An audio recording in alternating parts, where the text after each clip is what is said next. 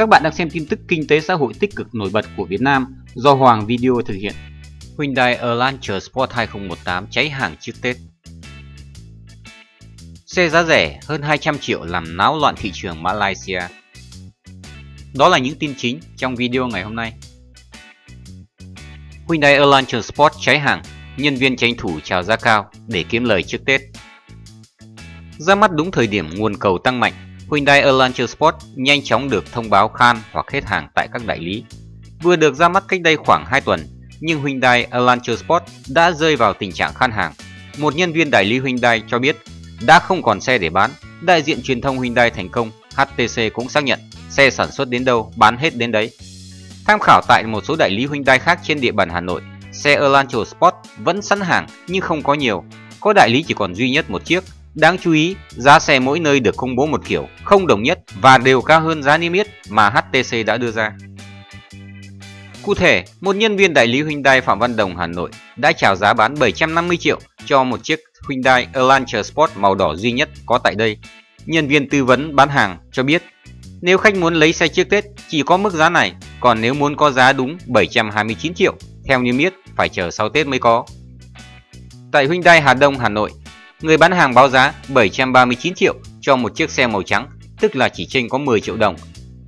Trong khi đó, nhân viên kinh doanh đại lý Hyundai Trường Trinh, thành phố Hồ Chí Minh giao xe bán với giá 749 triệu đồng. Tất cả các xe đều được cam kết sẽ giao luôn khi khách xuống tiền mà không phải chờ đợi. Giá xe ở tỉnh ngoài thời điểm này có xu hướng đúng niêm yết, nhưng lượng xe về đại lý lại không nhiều như ở Hà Nội và thành phố Hồ Chí Minh. Tại Bình Dương, có khách đã nhận được xe, nhưng những khách khác vẫn đang phải chờ đợi mặc dù đã đặt tiền từ khi HTC chưa chính thức công bố xe Elantra Sport sẽ ra mắt. Một khách hàng đã nhận xe Elantra Sport tại Hyundai Bình Dương cho biết chiếc xe mà anh đặt là chiếc duy nhất có giá đúng 729 triệu đồng. Nhưng do còn đang chờ hồ sơ nên xe của anh vẫn đang gửi tạm ở đại lý để trưng bày. Hyundai Elantra Sport là phiên bản hướng tới những khách hàng trẻ, đam mê tính thể thao bởi có máy tăng áp mạnh nhất trong phân khúc. Động cơ TGD dung tích 1,6 lít, sản sinh công suất 204 mã lực và mô men xoắn 265 Nm kết hợp hộp số ly hợp kép 7 cấp. Hiện trong phân khúc xe hạng C có Honda Civic và Ford Focus đang sử dụng động cơ tăng áp. Mẫu sedan của Honda đang trong tình trạng thiếu nguồn cung cấp do không nhập khẩu được, giá hiện tại là 898 triệu đồng.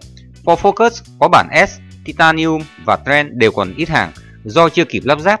Giá đã được các đại lý đẩy lên đúng bằng giá hãng từ 626 triệu đến 770 triệu đồng. Đắt thêm 70 triệu đồng Người dùng nhận được gì từ Hyundai Elantra Sport 2018? Thiết kế trông thể thao hơn, động cơ và hộp số mới cùng trang bị an toàn được cải thiện khiến chiếc Hyundai Elantra Sport hấp dẫn khách hàng trẻ hơn. Điểm khác biệt rõ ràng nhất có thể nhận thấy trên phiên bản Elantra Sport là cản trước thể thao hơn, viền lưới tản nhiệt sơn sang màu đen thay vì viền chrome trên bản Elantra Sport 2.0L gắn thêm logo Sport màu đỏ tương phản.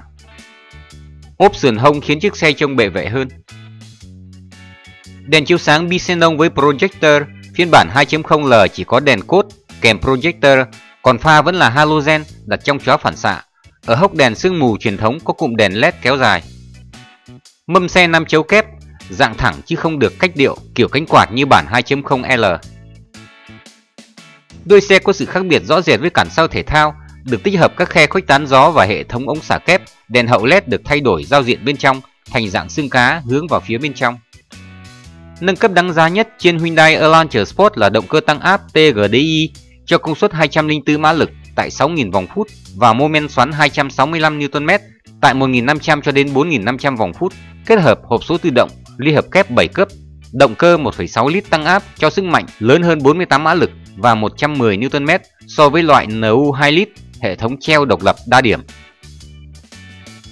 Với trang bị này, Elantra trở thành mẫu xe mạnh nhất trong phân khúc C tại Việt Nam công suất động cơ cao hơn hẳn các đối thủ Ford Focus S và Honda Civic VTEC Turbo. Nội thất xe thể thao hơn với vô lăng vát đáy và một vạch đỏ nổi bật. Tương tự nhiều dòng xe đua, cụm đồng hồ cũng được thiết kế hướng đến người đam mê tốc độ. Nội thất da khâu viền chỉ đỏ nổi bật. Đáng chú ý, trên phiên bản Sport, Hyundai bổ sung thêm túi khí đầu gối, nâng tổng số túi khí trong xe lên 7 túi khí, gương chiếu hậu trong xe tích hợp chống chói tự động, bảo đảm an toàn hơn khi đi đường gặp đèn pha rọi từ phía sau.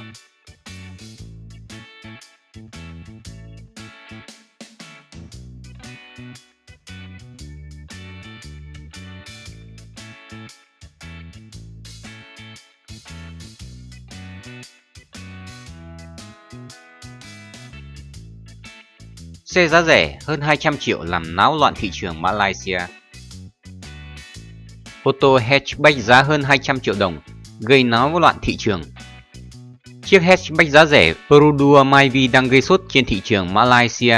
Chỉ trong vòng có một tháng, đã có 48.000 người đặt mua và 20.000 chiếc ô tô Perodua Myvi 2018 đã được giao đến tay khách hàng. Hồi tháng 11 năm 2017, Perodua, nhà sản xuất ô tô nội địa lớn nhất của Malaysia, đã giới thiệu mẫu xe ô tô giá rẻ Perodua Myvi tại thị trường này. Tại Malaysia, Perodua Myvi 2018 sẽ có tới 5 biến thể khác nhau cùng với đó là hai dung tích động cơ 1,3 và 1,5 lít.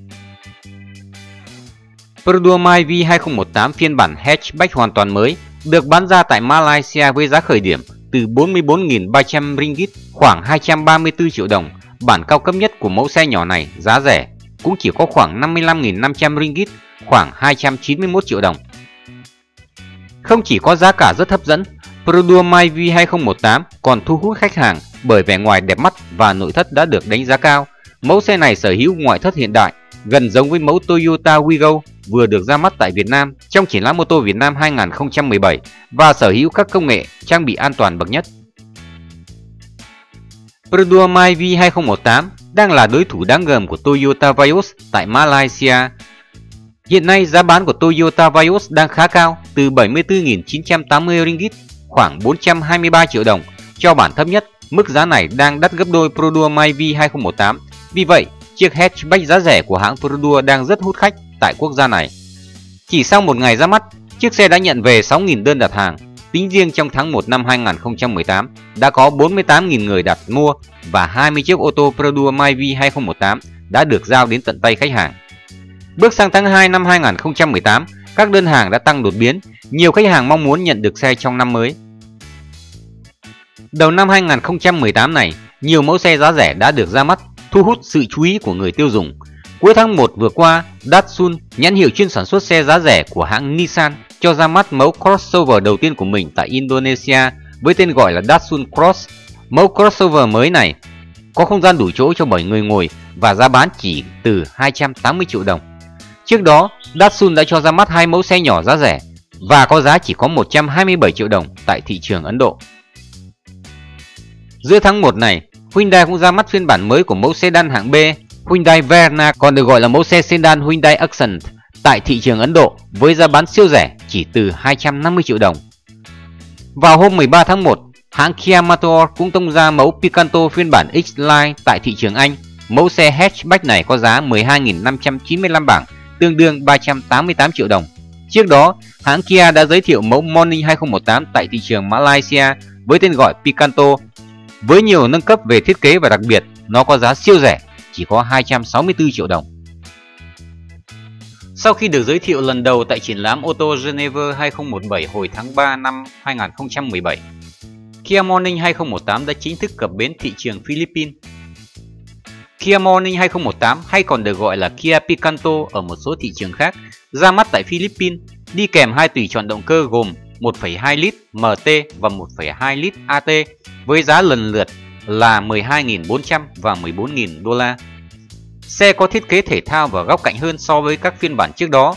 Kia Morning 2018 sở hữu kích thước tổng thể dài rộng cao lần lượt là 3.595, 1.595 và 1.485 mm. Không gian chứa đồ phía sau được gia tăng dung tích lên đáng kể từ 200 lít lên 255 lít. Ở thế hệ thứ ba, trục bánh xe trước và sau của Kia Morning đều dài hơn nên không gian để chân và hành lý cũng được mở rộng thêm. Trong khi đó, hàng ghế sau có thể gập linh hoạt để tăng dung tích khoang hành lý khi cần. Tuy có thay đổi khá nhiều, nhưng Morning 2018 không hề lớn hơn nhiều so với thế hệ hiện tại.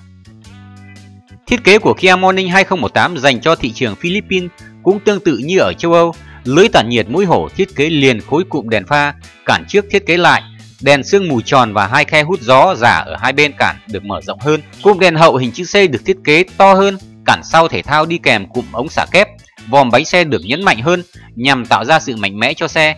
Ngoài ra, khách hàng có thể lựa chọn thêm gói GT Line cung cấp thêm một loạt các phụ kiện trang trí bắt mắt màu đỏ đen, bạc hoặc xanh, chỉ có một sự lựa chọn mâm là 15 inch. Tuy vậy, khách hàng sẽ nhận ra được những thay đổi lớn trong khoang nội thất của Kia Morning 2018 với bảng điều khiển được thiết kế hiện đại và phong phú hơn với màn hình cỡ lớn 7 inch đặt ở vị trí trung tâm. Bên cạnh đó, khách hàng có thể sử dụng ứng dụng Apple CarPlay và Android Auto trên điện thoại. Hãng xe Hàn còn cung cấp thêm các tùy chọn cho phiên bản 2018 gồm có camera phía sau, bộ sạc điện thoại và cổng USB không dây. Những trang bị tiêu chuẩn khác bao gồm vô lăng có thêm chi tiết kim loại tạo thành ba chấu riêng biệt, cửa gió điều hòa kép được đặt ở phía dưới màn hình giải trí trông gọn và bắt mắt hơn, đồng hồ hiển thị phía sau vô lăng được tinh chỉnh lại, ghế và tay vịn có đến 5 màu khác nhau để khách hàng lựa chọn theo sở thích cá nhân. Đồng thời, bên cạnh đó, các kỹ sư cũng đã hạn chế tiếng động cơ vọng vào khoang lái, tăng khả năng cách âm và hạ thấp kính chắn gió để giảm tiếng ồn khi xe di chuyển ở tốc độ cao. Về hiệu suất, Kia Morning 2018 ở thị trường Đông Nam Á có công suất cao hơn ở châu Âu và Hàn Quốc. Cụ thể, xe được trang bị khối động cơ Kappa 1.2 4 xi lanh với công nghệ phun nhiên liệu đa điểm MPI.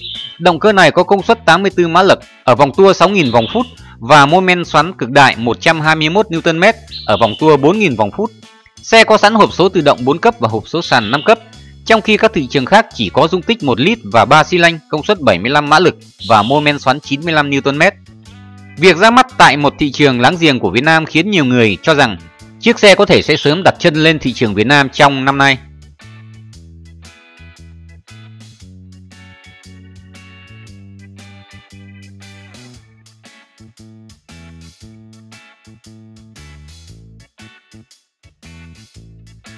Các bạn đang xem video trên kênh Dazen Vina.